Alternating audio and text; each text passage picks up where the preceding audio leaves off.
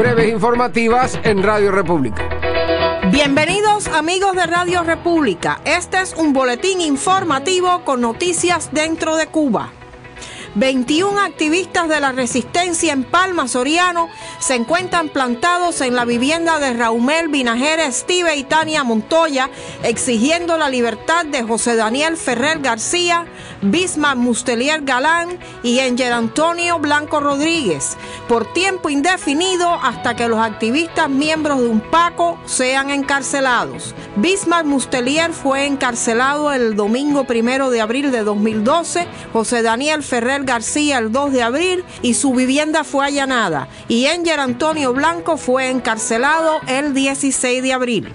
Las mujeres miembros del movimiento femenino por los derechos civiles Rosa Par en la ciudad de Placetas lanzaron un emplazamiento público a la oficialista Federación de Mujeres Cubanas para que dé resolución al caso de Yaima Lara Alfonso, quien dio luz a dos niños gemelos el 2 de febrero de 2012 y aún permanece en una sala del Hospital General de Placetas sin tener vivienda. Las autoridades permitieron que Lara Alfonso permaneciera en el hospital por las presiones del movimiento femenino en una campaña pública a favor de esta madre soltera.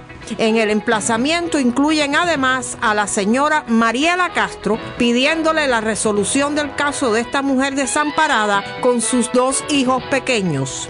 El presidente del CDR del barrio de Bahía de Mata en Baracoa, nombrado Jorge Hernández Cova, y el coordinador de la misma, Jorge Luis Alpajón, se presentaron en la vivienda de Omar Durán para amenazar a su esposa por haber aceptado ayuda del proyecto humanitario del movimiento Juan Pablo II, organización que defiende los derechos humanos en Guantánamo para su nieto Ezequiel Lórez Durán. Impedido físico que padece de distrofia muscular, al que desde enero de 2011 no se le brinda ayuda por parte del régimen de la isla.